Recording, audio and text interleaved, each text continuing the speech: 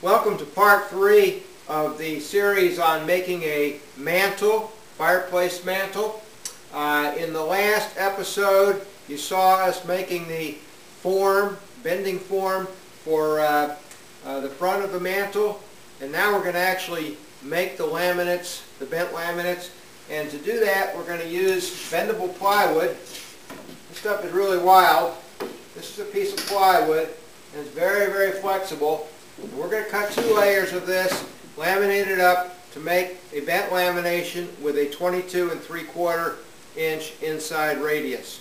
Okay, here's a couple of layers of bendable plywood. You can see how easy this stuff bends. What we want it to do is hold its shape and also we want to be able to smooth out the rough surface that bendable plywood normally has. So we're going to sandwich these two layers with a, filling of oak veneer with its grain running perpendicular to the grain of the bendable plywood. So the oak veneer grain will run like this. The bendable plywood grain runs like this. And what I, that'll do is that'll stiffen up the laminate uh, once we glue all the parts together. We'll also put an oak veneer face on the front and back of the sandwich so that there'll be three layers of oak veneer and two layers of bendable plywood. We'll put that into our form, onto our form, into the vacuum bag, bag it up, and when the glue sets, uh, the laminate will hold its shape, and that is what we will then veneer with the finished veneer. So let's go ahead and start cutting up the bendable, or cut, cutting up the veneer.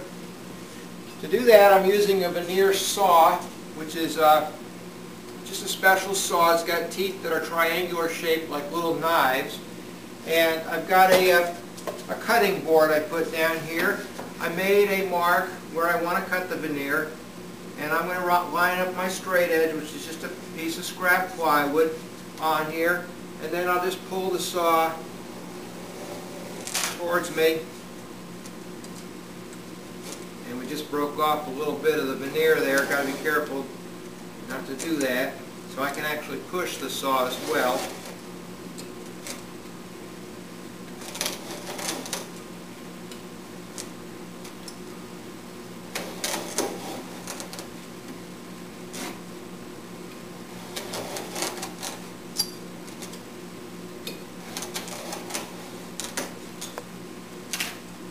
Okay. And so we've just broken off some waste here. And we now have a clean edge. Uh, and we'll just go ahead and cut our lengths. We'll go ahead and slice off the waste. And I'll have to tape together some pieces to make it the full width of the 12-inch uh, blanks here. And we'll be all set. And to make the veneer layers the right width, which have to be 12 inches, veneer I'm starting with is only 11 inches, so I've got to match up some joints, and that's why I'm cutting lengthwise, so I can get pieces that I can then tape up to the correct width.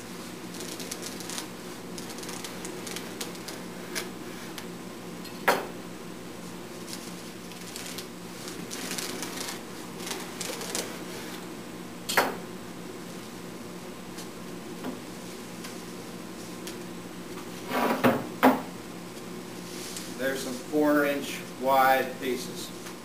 I've sliced the veneer to the right widths. Now I'm going to tape the pieces together to form 12 inch wide uh, sheets of veneer. Remember I started out with veneer sheets that were roughly 11 inches wide. I need 12 so I had to had to, to do this tape up. What I'm using is veneer tape. I'm using the thin kind that is perforated. Uh, so it doesn't make much difference in thickness of the veneer and it allows glue to penetrate. Here's one of the sheets I've already glued up. You can see it's, for those of you who've done veneering before, this is an abbreviated uh, tape up. Normally you'd have cross pieces here and you'd be very careful to make sure this joint is, is perfect. But in this case, we're talking of structural pieces that are going to be sandwiched inside bendable plywood. We're not worried about perfect joints, but we do want the tape to hold the sheet together to make it easy when we do the glue up. So I've got two pieces of uh, veneer matched up here. I'll take my little stamp licking pad, wet the veneer strip, and I'm going to put a strip at each end to help hold this together while I'm doing the main glue up.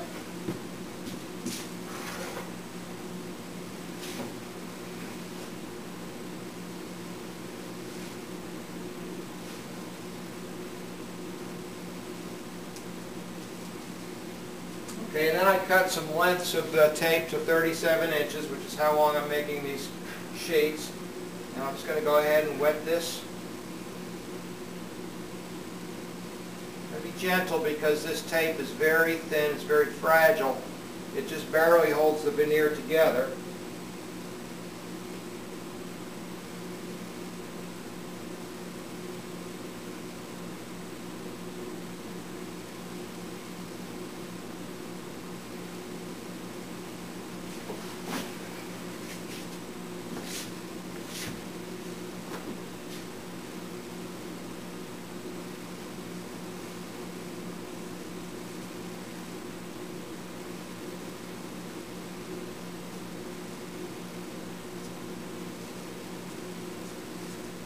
All right, and then I'll just use a regular clothes iron to uh,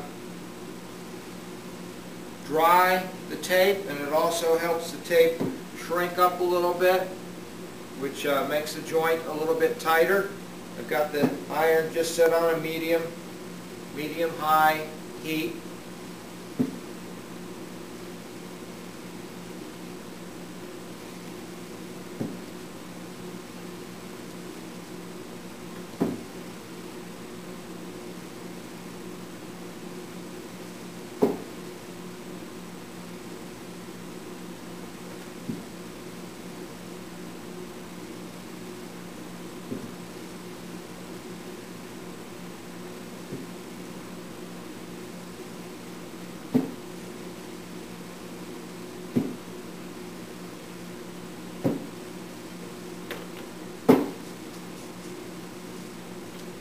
And there we are.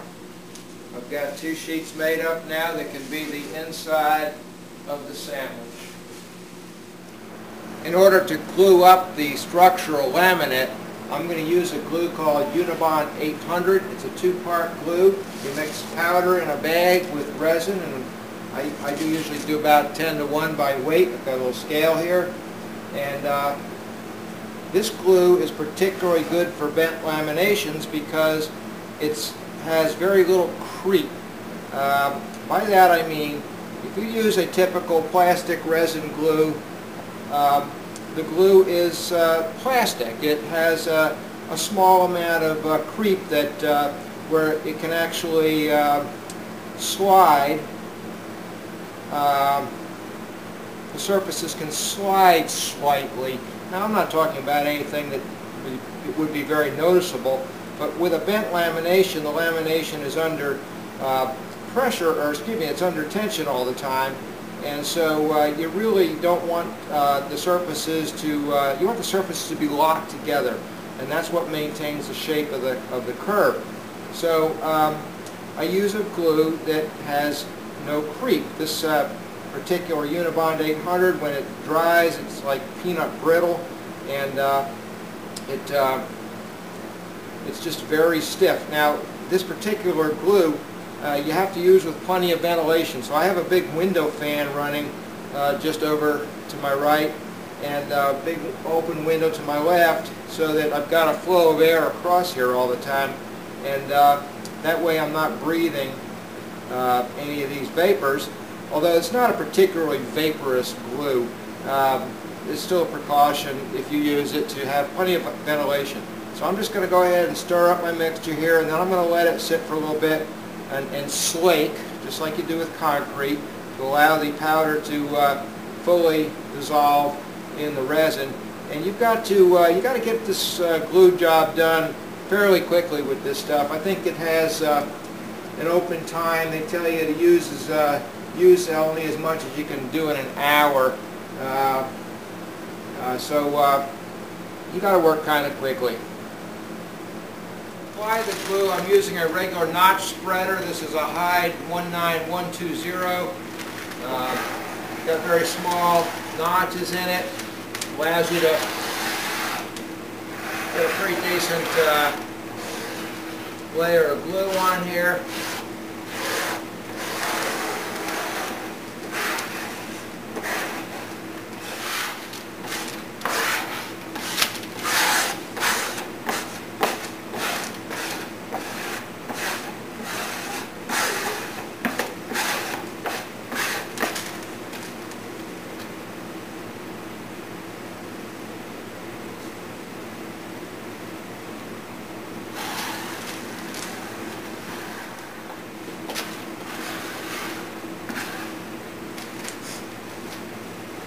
Okay, now I just lay the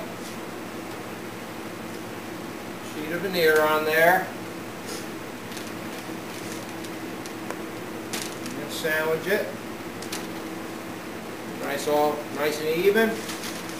Okay, and now I'm ready to do one of these. I may have to mix up a little more of this cement too, that's fine.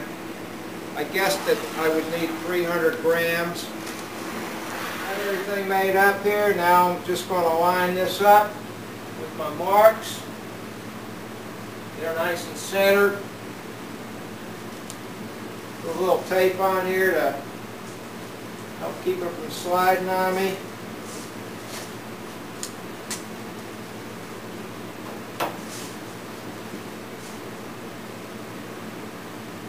Okay, it's working good bag is out of the way.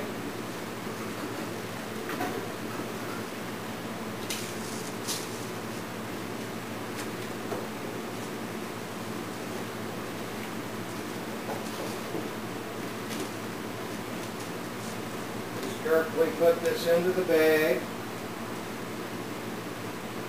Carefully slide the whole thing on in onto my platen.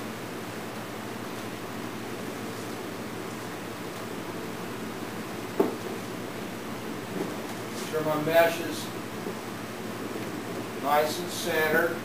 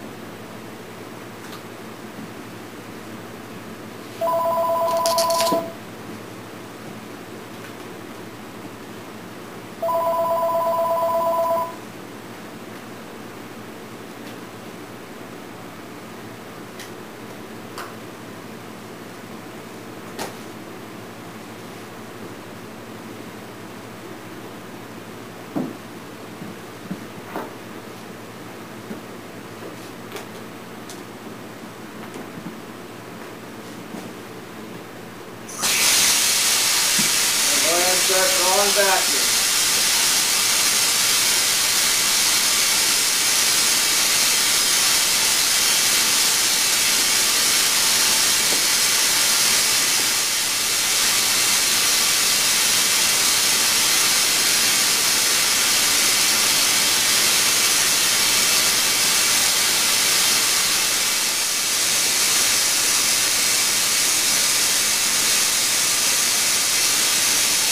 I wanted to give you a close-up of the vacuum pump. This is one that I made with parts that I got from uh, veneersupplies.com. Uh, another name for the website is joewoodworker.com.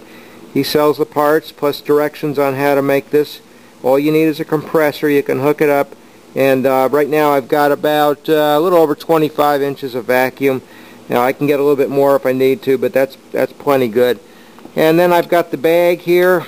Uh, I, while you weren't looking, I took the mesh, the nylon mesh, out of the bag because I saw that I'd put on so much glue that it was bleeding through the, the oak and uh, the nylon mesh would have stuck to the glue. I would have had a big mess. Uh, so I took the mesh out and now the, the polyethylene bag is up against the oak and uh, the glue won't stick to the polyethylene bag. Any little bit that ends up there I just peel right off it. It's no problem and so I'll get a nice smooth surface. But uh, we'll, we'll let this sit uh, overnight. Uh, the Unibond 800 dry or cures at different rates depending on the temperature. But uh, it's late in the afternoon now, so we're just going to let this sit under vacuum all night, and we'll have a nice, uh, a nice laminate substrate on which we can veneer. Let's take the uh, glued up form now out of the bag, off the press, or off uh, the form. Let's see what it looks like.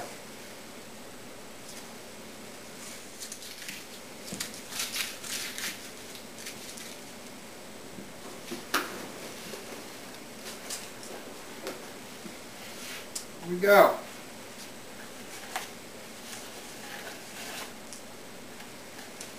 Doesn't wiggle very easily now. It's pretty much glued in place by the, uh,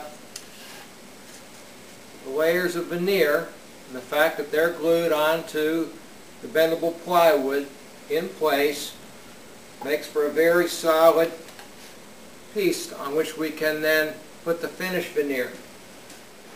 You might notice that there's a little bit of gap between the form and the finished laminate. That's called springback. There's always a little bit, so it's just something you have to account for in the design.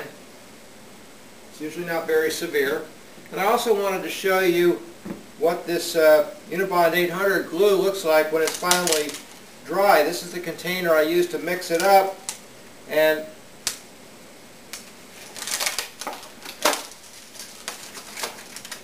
it doesn't stick to the plastic, but it makes a very brittle